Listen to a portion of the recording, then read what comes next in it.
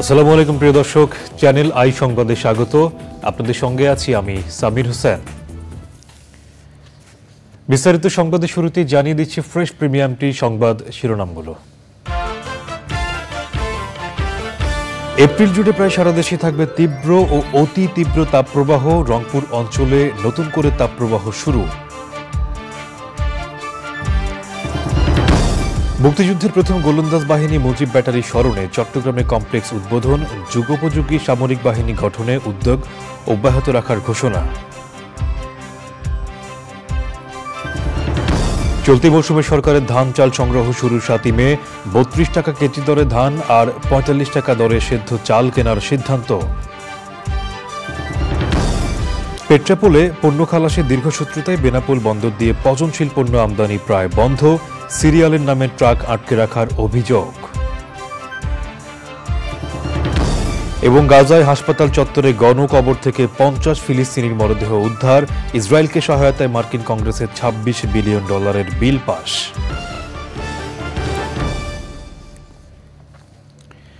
সংবাদ শিরোনামগুলো জানাচ্ছিলাম। এখনকার এই সংবাদ আয়োজন একই সঙ্গে চ্যানেল আইয়ের ইউটিউব চ্যানেলে এবং চ্যানেল আইয়ের OTT platform, i screen live stream হচ্ছে। এবার বিস্তারিত। এপ্রিল মাস জুড়ে তীব্র ও অতি তীব্র তাপপ্রবাহ অব্যাহত থাকবে বলে সতর্ক করেছে আবহাওয়া অফিস। তীব্র তাপপ্রবাহে আক্রান্ত খুলনা বিভাগের যশোর, চুয়াডাঙ্গা এবং রাজশাহী, পাবনার পাশাপাশি নতুন করে তাপপ্রবাহ শুরু হয়েছে রংপুর অঞ্চলে। তবে সিলেট ও চট্টগ্রামে ঝড় এবং সামান্য বৃষ্টি হবে বলে জানানো হয়েছে। আবহাওয়াবিদরা বলছেন, বিচ্ছিন্নভাবে সামান্য বৃষ্টিতে তাপপ্রবাহ কমবে না। জানাতুল বাকিয়া, কেকার রিপোর্ট। দশ বছরের মধ্যে চলতি এপ্রিল মাসে সবচেয়ে বেশি গরমে অস্থির প্রায় পুরো দেশবাসী। চলতি মাসের শুরুতেই মাঝারি থেকে তীব্র এবং গত কদিন অতি তীব্র তাপপ্রবাহের কবলে পড়েছে দেশের দুই তৃতীয়াংশ। লোকজন বেড়াই বেড়াচ্ছি না এই গরমে। এখন কি করব? যাত্রী কম ভাড়া কম। এত পরিমাণ তাপমাত্রা যে গা হাত পা পুরো জ্বালা পোড়া কর জ্বালা পোড়া শুরু হয়ে গেছে। প্রচণ্ড গরম যে গাড়ি চালাবে এক মানে এক টিপেই শরীর যাচ্ছে এলে। আর মানে কোনো কিছু মানে আরেকবার যাব আর মানে নিজের দেহের ভিতরে শান্তি পাচ্ছে নিতে আর ভাড়া মারবে কীভাবে? চলতি মৌসুমে সর্বোচ্চ তাপমাত্রা গত দশ বছরের রেকর্ড অতিক্রম করেছে। দক্ষিণ পশ্চিমের খুলনা বিভাগের সবকটি জেলাসহ রাজশাহী ও পাবনা অতি তীব্র তাপপ্রবাহে দেশের সবচেয়ে উত্তপ্ত অঞ্চল হয়ে উঠেছে। গরমে আমরা যে কাজ করছি সহ্য করা যাচ্ছে না। মনে পড়ছে খুব কষ্ট হয়ে যাচ্ছে। কাজকর্ম ঠিক মতন করতে পারতেছি না। পানি নেই বললেই চলে। অনেকের বাড়ি সাবমার্শাল আছে ওই জায়গা থেকে পানি সে মাপা পানির মতো আনতে হচ্ছে। অতি তীব্র তাপপ্রবাহের কারণে যশোরে দুশো পঞ্চাশ শয্যার হাসপাতালে বেড়েছে ডায়রিয়া রোগী। প্রখর রোদ ও গরম উপেক্ষা করে জীবিকার তাগিদে বের হয়ে বিপাকে পড়ছেন শ্রমজীবী ও খেটে খাওয়া দরিদ্র মানুষ। মেহেরপুরে হিট স্ট্রোকে একজনের মৃত্যু হয়েছে। রবিবার নতুন করে তাপপ্রবাহ অঞ্চল হিসেবে রংপুরে তাপমাত্রা বেড়েছে। Jannatul Bakia Keka, channel I, Dhaka. মুক্তিযুদ্ধের প্রথম গোলন্দাজ বাহিনী মুজিব ব্যাটারি স্মরণে চট্টগ্রামে নির্মিত বঙ্গবন্ধু শেখ মুজিব ব্যাটারি কমপ্লেক্স উদ্বোধন করেছেন প্রধানমন্ত্রী শেখ হাসিনা। এরপর কমপ্লেক্সটি ঘুরে দেখেন সরকার প্রধান। পরে সব পর্যায়ের সেনা সদস্যদের উদ্দেশ্যে দরবার নেন প্রধানমন্ত্রী। বাহিনীটির সদস্যদের উদ্দেশ্যে দিক নির্দেশনামূলক বক্তব্য দেন বঙ্গবন্ধু কন্যা। চট্টগ্রাম থেকে মধু ত্রিপুরার ক্যামেরায় সাদি মাহমুদের রিপোর্ট। রেজিমেন্ট অফ আর্টিলারির প্রথম মুজিব ব্যাটারি বাংলাদেশের প্রথম আর্টিলারি বা ভারী অস্ত্রের ইউনিট। মুক্তিযুদ্ধের সময় আগস্টের প্রথম সপ্তাহে পাকিস্তান থেকে পালিয়ে আসা গোলন্দাজ বাহিনীর আশি জন বাঙালি সদস্যকে নিয়ে এই বাহিনী গঠন করা হয়। উঠেছিল মুজিব ব্যাটারির ছয়টি। প্রথম এই গোলন্দাজ বাহিনীর স্মরণে চট্টগ্রামে তৈরি করা হয়েছে কমপ্লেক্স।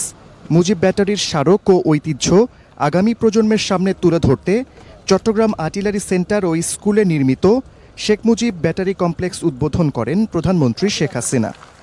স্মরণীয় হয়ে রবে। রেজিমেন্ট এবং সমৃদ্ধি কামনা করে দুনিয়া হাসানাতা উম্মতি কবুল করুন। ইয়াতার মাগফিরাত কামনা করছি। পরে নবনির্মিত বঙ্গবন্ধু শেখ মুজিব ব্যাটারি কমপ্লেক্সে স্থাপিত আর্টিলারি জাদুঘর পরিদর্শন করেন সরকার প্রধান। সে সময় তিনি জাদুঘরে স্থাপিত জাতির পিতা বঙ্গবন্ধু শেখ মুজিবুর রহমানের অতি বাস্তব প্রতিকৃতি, মুক্তিযুদ্ধে মুজিব ব্যাটারির প্রথম গোলাবর্ষণকারী কামান, আর্টিলারি রেজিমেন্টে ব্যবহৃত গোলাবারুদ এবং গোলন্দাজ বাহিনীর উল্লেখযোগ্য অপারেশনের গৌরবময় ইতিহাস সম্পর্কে অবগত হন। এরপর সব পর্যায়ের সেনা সদস্যদের উদ্দেশ্যে দরবার নেন প্রধানমন্ত্রী শেখ হাসিনা। সে সময় সেনাবাহিনীর সদস্যদের প্রতি দিক নির্দেশনামূলক বক্তব্য দেন তিনি। প্রধানমন্ত্রী জানান, সশস্ত্র বাহিনীর উন্নয়নে সরকার প্রযুক্তি জ্ঞানসম্পন্ন, যুগোপযোগী সামরিক বাহিনী গঠনের লক্ষ্যে স্বল্প, মধ্য ও দীর্ঘমেয়াদী পরিকল্পনা গ্রহণ করেছে এবং তা ধারাবাহিকভাবে বাস্তবায়ন করা হচ্ছে। ফোর্সেস গোল দু হাজার তিরিশের আলোকে স্মার্ট সেনাবাহিনী গঠনে যাত্রা শুরু হলো বঙ্গবন্ধু শেখ মুজিব ব্যাটারি কমপ্লেক্সের। বঙ্গবন্ধু কন্যা শেখ হাসিনা আনুষ্ঠানিকভাবেই মুক্তিযুদ্ধের স্মৃতি বিজড়িত প্রথম গোলন্দাজ ইউনিটের স্মারক ও ঐতিহ্যের এই কমপ্লেক্স উদ্বোধন করলেন, যেখানে বাহিনীর সদস্যদের জন্য থাকছে আধুনিক প্রশিক্ষণের সুযোগ। পাশাপাশি সবার জন্য উন্মুক্ত এই কমপ্লেক্স ঘুরে মুক্তিযুদ্ধের দুঃসাহসিক সব অভিযানের ইতিহাস জানতে পারবে তরুণ প্রজন্ম। Sadi Mahmud channel I, Chattogram.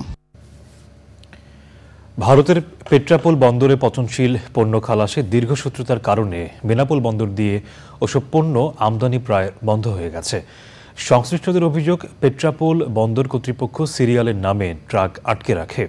এজন্য বেশিরভাগ আমদানিকারক বেনাপোল বন্দর ছেড়ে অন্য বন্দরে চলে যাচ্ছেন। বেনাপোল কাস্টমস হাউসে রাজস্ব আয়ে এর বড় ধরনের প্রভাব পড়তে শুরু করেছে। যশোর থেকে আকরামুজ্জামানের রিপোর্ট। ভারত থেকে পচনশীল পণ্যর বড় একটা অংশ আমদানি হয় বেনাপোল বন্দর দিয়ে। প্রতিদিন বিভিন্ন ধরনের ফল ও মাছসহ বিভিন্ন ধরনের সবজি এবং পচনশীল পণ্য আমদানি হয় দুপুরের পরপরই।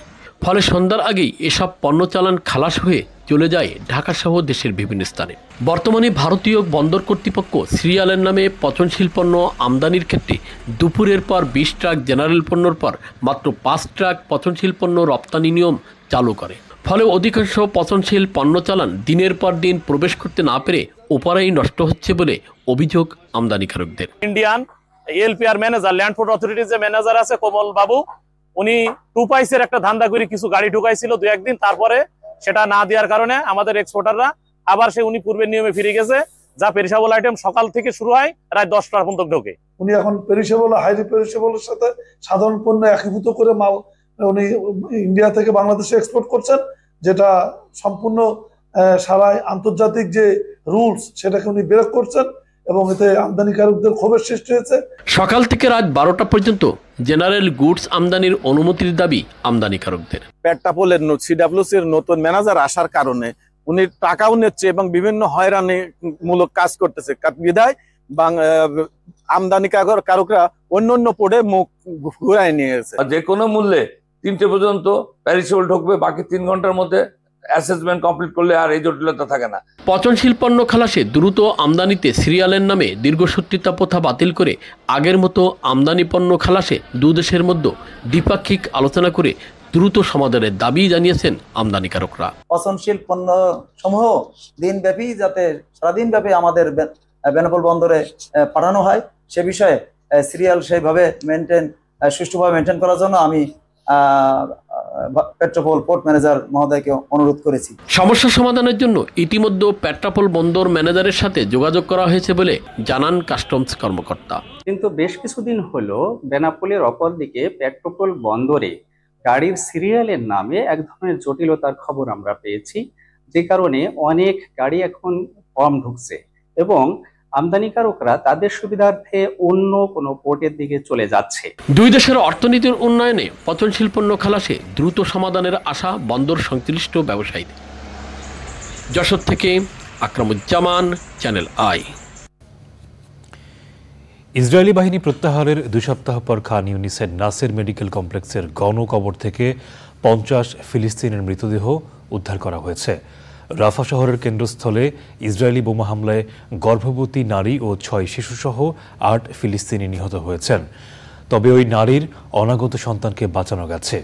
অধিকৃত পশ্চিম তীরে ফিলিস্তিনিদের ওপর মানবাধিকার লঙ্ঘনের দায়ে ইসরায়েলি প্রতিরক্ষা বাহিনীর কুখ্যাত ইউনিট নেৎজা ইয়েহুদার ওপর নিষেধাজ্ঞার পরিকল্পনা করছে যুক্তরাষ্ট্র। মার্কিন এই পরিকল্পনার নিন্দা জানিয়ে ইসরায়েলি জাতীয় নিরাপত্তা বিষয়ক মন্ত্রী বলেছেন তাদের সেনাদের ওপর নিষেধাজ্ঞা আরোপ করা মানে চূড়ান্ত সীমা অতিক্রম করা। অন্যদিকে, গাজা যুদ্ধ এবং ইরানের সাথে উত্তেজনার মধ্যে মার্কিন হাউস অব রিপ্রেজেন্টেটিভস ইসরায়েলকে সহায়তা করতে ২৬ বিলিয়ন ডলার তহবিল পাশ করেছে। তুরস্কের ইস্তাম্বুলে প্রেসিডেন্ট রিসেপ তাইব এরদোয়ানের সঙ্গে দেখা করেছেন হামাস নেতা ইসমাইল হানিয়া। সাতই অক্টোবর থেকে গাজায় ইসরায়েলি হামলায় কমপক্ষে চৌত্রিশ হাজার উনপঞ্চাশ ফিলিস্তিনি নিহত হয়েছেন। আহত হয়েছেন ছিয়াত্তর হাজার নয়শো এক জন। আগামী ছাব্বিশ এপ্রিল হবে ভারতে লোকসভা নির্বাচনের দ্বিতীয় দফা ভোট গ্রহণ। দলগুলোর মধ্যে ভোট যুদ্ধ হবে আসাম, বিহার, ছত্তিশগড়, কর্ণাটক, কেরালা, মধ্যপ্রদেশ, মণিপুর, রাজস্থান, ত্রিপুরা ও পশ্চিমবঙ্গের উননব্বইটি আসনে। বিশ্লেষকদের ধারণা ক্ষমতাসীন বিজেপি একাই তিনশো ত্রিশ থেকে তিনশো পঞ্চাশ আসন পেতে পারে। নাজিব বেগ জানাচ্ছেন বিস্তারিত। গেল উনিশ এপ্রিল প্রথম দফা ভোটের মাধ্যমে শুরু হয়েছে ভারতের লোকসভা নির্বাচন। সে দফায় ভোট পড়েছে ষাট শতাংশ। পশ্চিমবঙ্গ ও মণিপুরে হয়েছে বিচ্ছিন্ন সংঘর্ষ। দ্বিতীয় ধাপে তেরোটি রাজ্যের উননব্বইটি আসনে হবে ভোট। ভারত মাতা কি? দক্ষিণের রাজ্যগুলোতে আধিপত্য ধরে রাখতে প্রথম দফার পরপরই প্রচারে নেমেছেন প্রধানমন্ত্রী নরেন্দ্র মোদী। কর্ণাটকের সমাবেশ শেষে মহারাষ্ট্র ও উত্তরপ্রদেশে প্রচারে নামেন তিনি. দক্ষিণে প্রচারণায় অংশ নিয়েছেন প্রিয়াঙ্কা গান্ধীও এবারে পশ্চিমবঙ্গের দিকে বিশেষ নজর রয়েছে বিজেপির তৃণমূল কংগ্রেসের অবস্থা নড়বড়ে করতে তৎপর হলেও পিছিয়ে নেই মমতা ব্যানার্জির দলও More than 60% of the world is voting. এদিকে ভারতের একটি গণমাধ্যমকে দেয়া সাক্ষাৎকারে দেশটির অন্যতম অর্থনীতিবিদ সুরজিৎ ভাল্লা বলেছেন দু সালের চেয়ে এবারের লোকসভা নির্বাচনে আরও ভালো করবে বিজেপি বিজেপি একাই তিনশো থেকে তিনশো পঞ্চাশটি আসন পেতে পারে বলে মনে করেন তিনি। Everybody is allowed to have a forecast.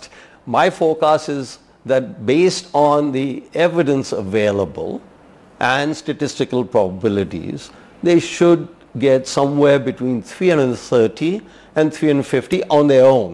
বিরোধী কংগ্রেস নিয়ে এই অর্থনীতিবিদ বলেছেন তাদের জোটের সমস্যা হলো নেতৃত্ব What perhaps went wrong with the alliance? Because it depends on leadership, as we said, and the economy. The economy is not really Channel I. the opposition. দাম বাড়িয়ে আগামী ছয় মাসের জন্য সাড়ে সতেরো লাখ মেট্রিক টন ধান চাল গম সংগ্রহের সিদ্ধান্ত হয়েছে সচিবালয়ে খাদ্য পরিকল্পনা ও পরিধারণ কমিটির বৈঠকে এই সিদ্ধান্ত নেওয়া হয়। দাম বাড়ানোর ফলে কৃষক লাভবান হবে, তবে বাজারে খুব বেশি বিরূপ প্রভাব পড়বে না বলে মনে করছেন খাদ্যমন্ত্রী। বিস্তারিত রফিকুল বাসার জানাচ্ছেন। আসন্ন বোরো মৌসুমে ধান, চাল ও গম সংগ্রহের পরিমাণ ও মূল্য নির্ধারণ করা হয়েছে। বত্রিশ টাকা কেজি দরে পাঁচ লাখ টন ধান পঁয়তাল্লিশ টাকা দরে এগারো লাখ টন সিদ্ধ চাল, চুয়াল্লিশ টাকা দরে এক লাখ টন আতপ চাল এবং চৌত্রিশ টাকা দরে পঞ্চাশ লাখ টন গম কেনা হবে। প্রায় সাত হাজার কোটি টাকা খরচ করে এই ধান, চাল, গম সংগ্রহ করা হবে। উৎপাদন খরচ বেশি বলে দাম বাড়ানো হয়েছে। তবে বাজারে এর বিরূপ প্রভাব পড়বে না বলে মনে করছেন খাদ্য পরিকল্পনা ও পরিধারণ কমিটির সভাপতি ও খাদ্যমন্ত্রী। আমরা সব সময় সজাগ আছি। খাদ্যের ঘাটতি হয়েছে এমন কথা বাংলাদেশে বলা যায় না। এখনও মানে যখন দাম একটু বাড়াইলো তখন মধ্যে চাউল নাই নাই নাই। কিন্তু চাউল কিন্তু এখনও শেষ হয় নাই। মার্কেটে পুরাতন চাউল এখনও আছে এখনও দু তিন মাস চলবে। মধ্যপ্রাচ্যে চলমান অস্থিরতার কারণে খাদ্য মজুত ঠিক রাখতে প্রয়োজনীয় উদ্যোগ নেওয়া হয়েছে বলেও জানান খাদ্যমন্ত্রী। আমি তো মনে করি যে সহনীয় আছে। আপনার সারা বিশ্বের চাউলের বাজার একটু রেকি করেন। তাহলে আমার মনে হয় আপনারা আপনাদের ভুল ভেঙে যাবে বলে আমার দৃঢ় বিশ্বাস। আগামী সাতই মে থেকে বড় সংগ্রহ শুরু হয়ে একত্রিশে আগস্ট পর্যন্ত চলবে। রফিকুল বাসার চ্যানেল আই ঢাকা। সংবাদের এ পর্যায়ে নিচ্ছে বিরতি। আর বিরতির পর্যায়ে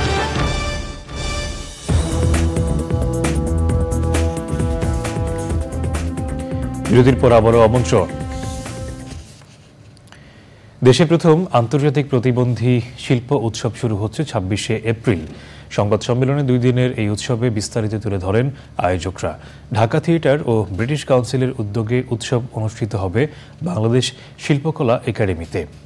ছাব্বিশে সাতাশে এপ্রিল উৎসবে মোট দশটি নাটক প্রদর্শন করা হবে। সকাল এগারোটায় শুরু হয়ে রাত আটটা ত্রিশ মিনিটে পর্যন্ত চলবে উৎসব।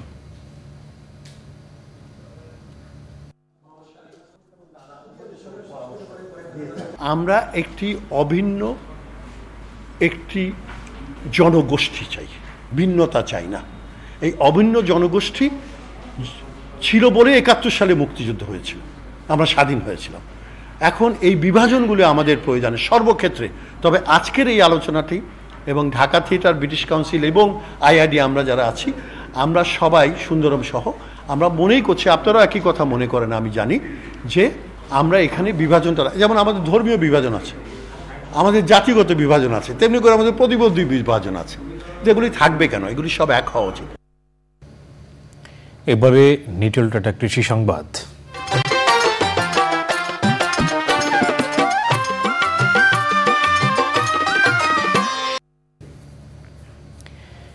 মেহেরপুর ও চুয়াডাঙ্গায় ভার্মি কম্পোস্ট ব্যবহারের পরিধি বাড়ছে। বাণিজ্যিকভাবে এ সার উৎপাদন ও বিক্রি করে ভাগ্য বদলেছেন কৃষক। ভার্মি কম্পোস্ট বা জৈব সার ব্যবহারে মাটির উর্বরা শক্তি বাড়ার সাথে সাথে রাসায়নিক সার ব্যবহারের মাত্রাও কমে গেছে। মেহেরপুর থেকে গোলাম মোস্তফা ও চুয়াডাঙ্গা থেকে রাজীব হাসান কোচির পাঠানো তথ্য ভিডিও চিত্রে সুদীপ্তা মাহমুদের রিপোর্ট। মেহেরপুর সদর উপজেলার আমঝুপি গ্রামের তরুণ উদ্যোক্তা রিমন শেখ দু হাজার উনিশ সালে কেঁচো দিয়ে ভার্মি কম্পোস্ট বা জৈব সার উৎপাদন শুরু করেন। কেঁচো কম্পোস্ট বা ভার্মি কম্পোস্ট বিক্রি করে সব খরচ বাদে মাসে তার আয় প্রায় এক লাখ টাকা। যদি আমাকে সরকার সার্বিকভাবে সহযোগিতা করে, তাহলে অদূর ভবিষ্যতে আমি আমার খামারকে একটা পরিপূর্ণ বাণিজ্যিক রূপ দান করতে পারব বলে আমি বিশ্বাসী।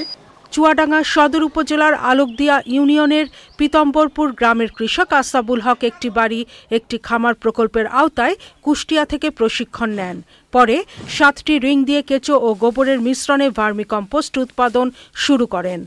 এখন মাসে মনে করেন একশো টন কেঁচো সার আমার উৎপাদন। জৈব সার আমার হচ্ছে উৎপাদন করা ক্যাপাসিটি মেশিন আগে একটা ছিল, এখন দুটো, দুটোর থেকে তারপরে যে এই কেঁচো শেডের জন্য আরেকটা মেশিন হচ্ছে হাতে নিয়েছি, এটাও করব। তো মোটামুটি আল্লাহ রহমতে খুব ভালো জিনিস এটাও। কেঁচো থেকে সার তৈরির জন্য এক মাসের পুরনো গোবর ব্যবহারের পরামর্শ দেয় কৃষি বিভাগ। মাটির স্বাস্থ্য সুরক্ষার জন্য এখন যে বিষয়টাকে আমরা সবচেয়ে বেশি গুরুত্ব দিচ্ছি সেটা হচ্ছে মাটিতে রাসায়নিক সারের ব্যবহার কমিয়ে জৈব সারের ব্যবহার যেন আমরা বৃদ্ধি করতে পারি। চুয়াডাঙ্গা সদরে আমরা ভার্মি কম্পোস্টের বিভিন্ন প্রদর্শনী দিয়েছি এবং কৃষককে বিভিন্ন ট্রেনিং এবং উঠোন বৈঠক আহ, সবকিছুর মাধ্যমে উদ্বুদ্ধ করছি তারা যেন নিজেদের ভার্মি কম্পোস্টটা নিজেরা তৈরি করে। ভার্মি কম্পোস্ট উৎপাদনের জন্য চুয়াডাঙ্গা, মেহেরপুর ও ঝিনাইদা সহ বেশ কিছু জেলা থেকে গোবর সংগ্রহ করেন কৃষক। বর্ষা মৌসুমে জৈব সার উৎপাদন কার্যক্রম বন্ধ থাকে।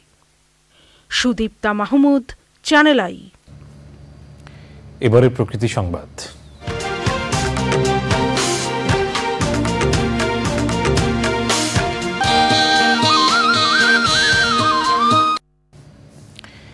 নিজের রাস্তা নির্মাণ করে দৃষ্টান্ত স্থাপন করেছেন কুড়িগ্রামের দুর্গম চর কৃষ্ণপুরবাসী। নদীপথ পরিবর্তনের ফলে হারিয়ে যাওয়া সড়কটি নির্মাণে আর্থিক সহযোগিতার পাশাপাশি স্বেচ্ছাশ্রমেও এগিয়ে এসেছেন তারা। এদিকে দেরিতে হলেও রাস্তা নির্মাণে সব ধরনের সহায়তার আশ্বাস দিয়েছে প্রশাসন। শ্যাবল ভৌমিকের তথ্য, ভিডিও চিত্রে সাবরিনা হাসানের রিপোর্ট। কুড়িগ্রামের নিভৃত ও প্রত্যন্ত চর কৃষ্ণপুর। বন্যা, খরা, নদী ভাঙন সহ নানা প্রাকৃতিক দুর্যোগের সাথে লড়াই করে বেঁচে থাকতে হয় চরাঞ্চলের মানুষকে। ত্রিশ বছর আগে প্রাকৃতিক দুর্যোগেই নদীপথ পরিবর্তনের কারণে বিলীন হয়ে যায় চরের যোগাযোগ ব্যবস্থা। যোগাযোগ ব্যবস্থা না থাকায় শিক্ষা, স্বাস্থ্যসেবা এমনকি ফসলের ন্যায্য মূল্য থেকেও দিনের পর দিন বঞ্চিত হয়ে আসছিল চর কৃষ্ণপুরের বাসিন্দারা। সময় মনে করলেন সাঁতুরে আসে মহিলারা এক গলা পানি নাইমে আসে। কোন চেয়ারম্যান কোন মেম্বার আগে ধরেন এবার আর যা চেয়ারম্যান ধরছে আমরা সাহস করে বান্ধিতেছি তা আমাদের কাজ আমরা বাইন্দে আমরা নিতেছি আমাদের ভালোর জন্য। বন্যার সময় নৌকা দিয়ে আঙ্গারে যাইতে খুব কষ্ট। রাস্তাটা হলে অনেক সুবিধা হবে। রাস্তা হলে আমরা সবাই ভালোভাবে যাতায়াত করতে পারব। এমন পরিস্থিতিতে নিজেদের উদ্যোগেই রাস্তা নির্মাণ শুরু করেন চরবাসী। আমরা ধরছি তিরিশ লক্ষ টাকা। কিন্তু দুঃখের বিষয়ে তিরিশ লক্ষ টাকা তো আমরা উঠাইতে পারতেছি না। অল্প সামান্য কিছু দুই চার লাখ টাকা হাতে নিয়ে কাজ শুরু করছি। কিছু কিছু করে টাকা দিয়ে আমরা রাস্তার কাজ শুরু করছি। যদি আমাদের সরকার আমাদের একটু সহযোগিতা করে তাহলে আমাদের কাজটা ভালো হতে সব ধরনের সহযোগিতার কথা জানিয়েছেন জনপ্রতিনিধি ও প্রশাসন। পর্যাপ্ত হচ্ছে না মানে দেওয়ার সম্ভব হচ্ছে না যার জন্য আমরাও সার্বিক সহযোগিতা করতেছি। এটা মাননীয় প্রধানমন্ত্রীর কাছে আমাদের আকুল আবেদন। যদি একটু সুনজর দেন, তাহলে আমাদের এই কাজটা যদি তারা করতে আমাদের দশ বারো হাজার লোকের বিশাল একটা উপকার হবে। এই রাস্তাটির নির্মাণের ফলে এখানকার লোকজন বন্যা থেকেও কিছুটা রক্ষা পাবেন। সব কিছু মিলিয়ে এটা একটা অনন্য উদ্যোগ। এই উদ্যোগটি যেন সব জায়গায় ছড়িয়ে পড়ে, সেটাই আমরা আশা রাখি। তাছাড়া এখানে সরকারি সহায়তা দেওয়ার জন্য ইতিমধ্যে তারা একটি আবেদনও করেছেন এবং সেই আবেদনটি বিবেচনা করে সেখানে সরকারি সাহায্য প্রদান করা হবে। কৃষ্ণপুর চর থেকে কুমদপুর বাজার পর্যন্ত দেড় কিলোমিটার দৈর্ঘ্যের সড়কটি নির্মাণে ব্যয় হবে প্রায় ত্রিশ লাখ টাকা। সাবরিনা হাসান প্রকৃতি ও জীবন ডেস্ক চ্যানেল আই। এবারে খেলার খবর।